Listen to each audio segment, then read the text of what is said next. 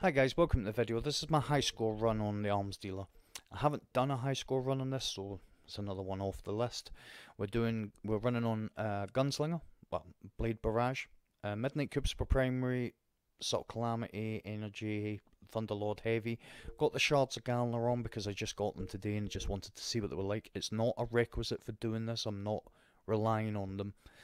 Uh, I only fire my super two or three times, so you'll have them back. I actually got the Oath Keepers today as well. It's my first two exotic drops, armor drops on my Hunter. And I got my first one on my Titan. Three exotic armor drops, Forsaken armor. Crazy, got them all today. So we're running an 80 power handicap, which still keeps us competitive. I could have went 100, and that would have kept me at 542. Would have kept me at the 540, but kind of figured if you're if you're watching this and you're a 620, 80 will still put you at the the, the 540. So we've kept it at 80. Uh, Arc Singe, heavyweight, momentum, and match game, which is why I've got a Void Bow because there's Void Shields. And that's how we're setting up.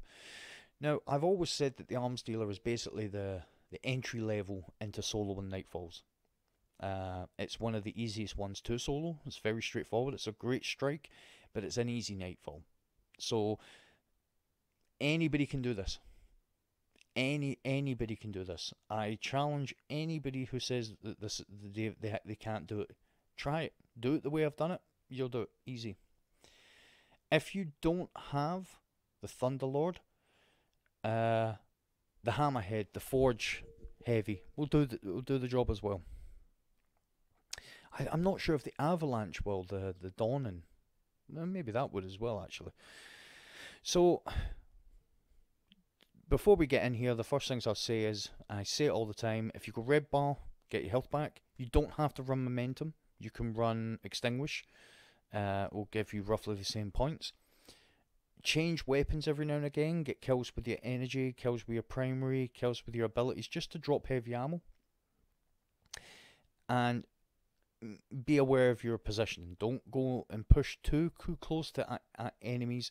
Don't even. Uh, I think one of the biggest things that I've experienced is when people think that they're on top and this is easy. That's when they die because the, you have to pay the strike, even though it's easy, and it is. As you can see, I went red. You can die in this strike. This, I love this. Look at that lightning chain chaining effect. That is why I don't go after the ads in the middle straight away. Take out the, the, the elites that push you with uh, that are right in front of you.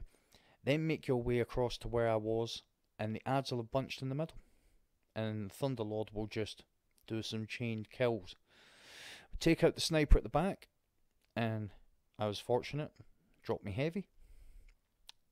And all we're left with now is the the elite. Dodge reload, meltage, and that's this area cleared.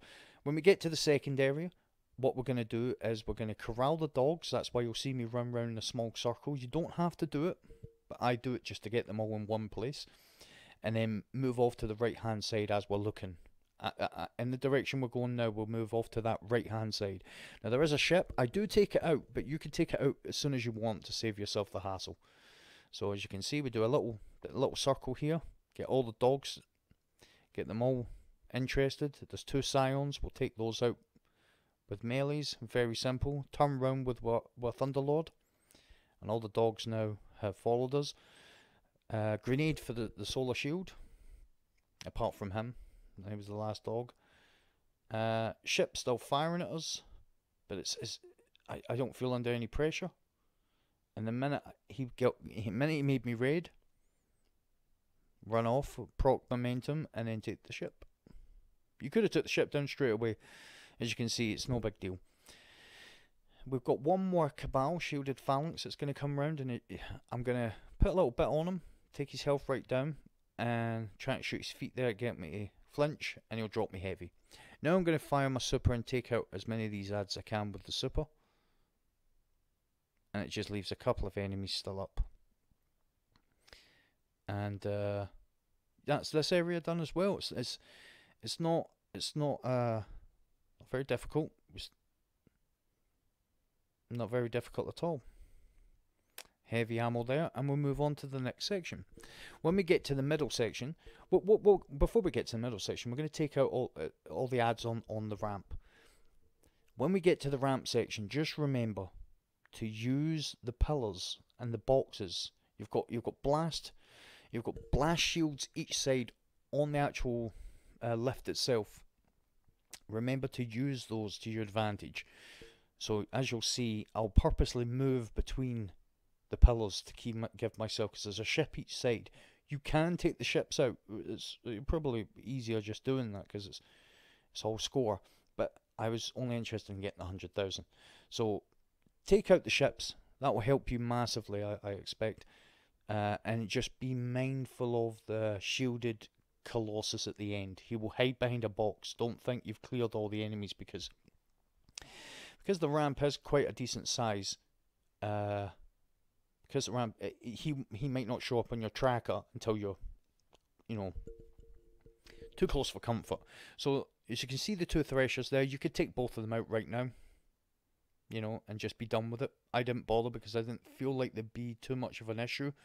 But this was my first attempt at doing this and I, I, you know I normally just do like a an attempt to feel my way into it. And sometimes like this it works really well. And in fact a lot of the time I do it on my first attempt. I just do additional runs because I've I've noticed something that I could have done differently. And in this run I probably could have got another 20 or 30,000 by taking the threshers out by you know not just melting the boss at the end but I wanted to do it before the 15 minute mark so I never lost any points. So this is what I was talking about, just moving in between the the the the pillars, and those blast shields will will save you if you're in that place to it.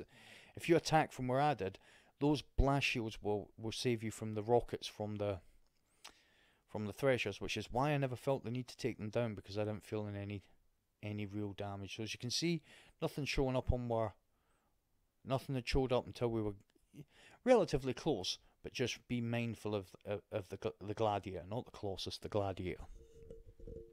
So, sixty-two thousand, six minutes in, pretty easy. We'll have a hundred thousand by the time we come out of this room. Invisible marauders and snipers are the real ones you've got to watch here. So the tank, once we attack the tank, focus fire one leg and then you you just have to put a couple of shots on the next leg, and the tank will be dead. Doesn't take a lot to take this tank down, especially with Thunderlord. So as you can see, even from this range, get those crits, and there you go. It's really simple. And we'll move to the right because we know we know we've got ads, but I'm going to be honest. I forgot about all the snipers on the right. There's four. There's four immediately at the top of the ramp, and then there's another one just to the side of it. And uh, take out these Cabal. And there's another Void Shield for us to con contend with. And unfortunately for that Legionnaire, he uh, jumped into the explosion. Thank you. Uh, there we go. Four snipers. One, two, three, four. Make sure you take those out. And there's one more when we jump up to activate the console. There's one just to right across from us on the left. And as you see, when the closer you get, the more damage they do.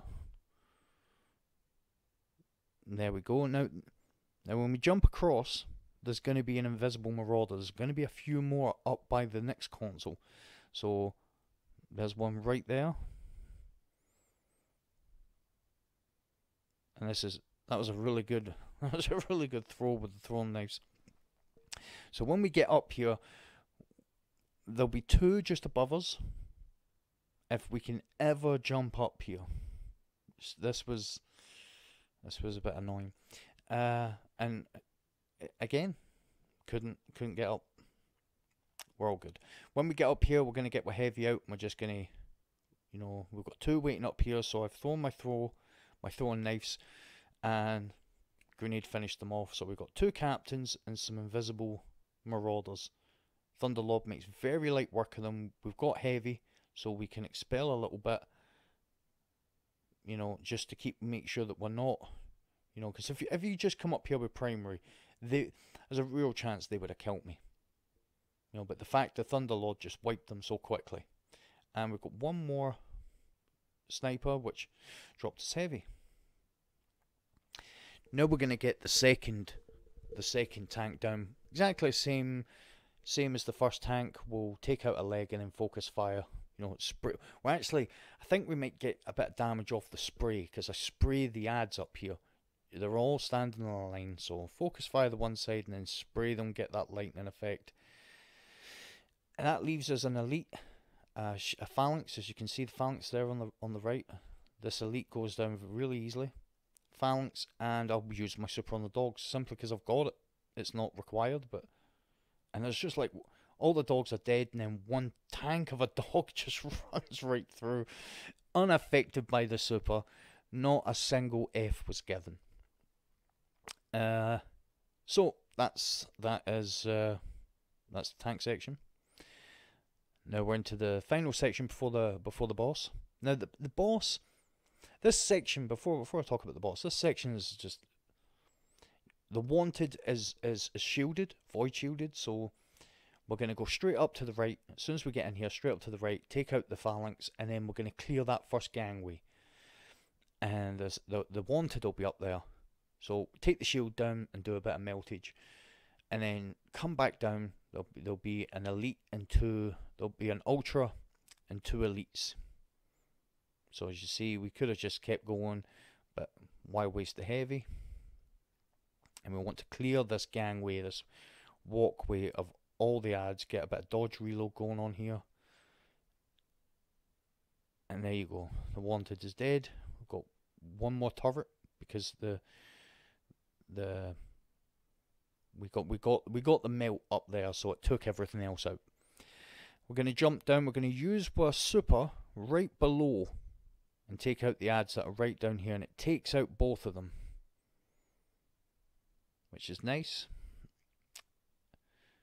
and we'll just get a little a little bit of melty melty going on there we've got heavy here it's all good and take out the ads up here I'm not uh, you'll see sometimes I, I use the Thunderlord it's not about you know hold the trigger down you know sometimes I just feather it just to you know, I don't, I don't want to waste ammo because, especially in these kind of strikes, your, your heavy is, you know, that's that's your that's your big big number. That's, you know, that's your finale. Your fatality, if you like. That's that's the one you're going to use to do the big damage. So you always want to have it available.